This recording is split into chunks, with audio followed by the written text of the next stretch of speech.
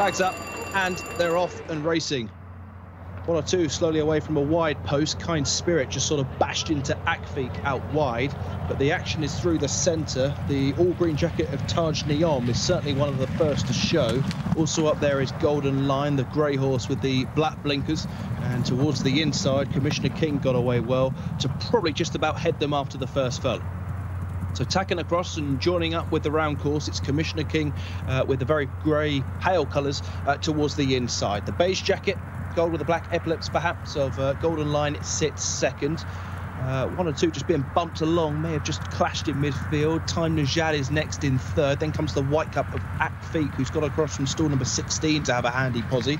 Green cap there on the inside is Shokran, probably about fourth at the minute, just relegating uh, Akfik to fifth. Then back on the inside is Final Destination's green cap.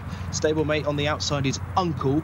Uh, the one that's very wide of, widest of all is Al Mulhem, green cap on the uh, purple jacket, probably about seventh or eighth at the minute, but just caught a bit wide on the turn as they uh, come into the home straight now with about two and a half furlongs left to go. And Commissioner King, last year's Saudi Derby winner, is kicking on with things here, leads by about two lengths to final destination, chased up in second. Golden Line maybe given his running back in third now, and then Uncle back towards the inside. Shokran is staying on but needs an out, and Al Mulhem is next.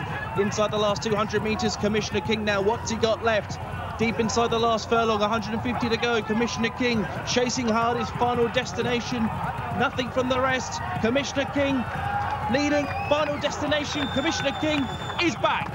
Last year's Saudi Derby winner is back with a bang and wins on return.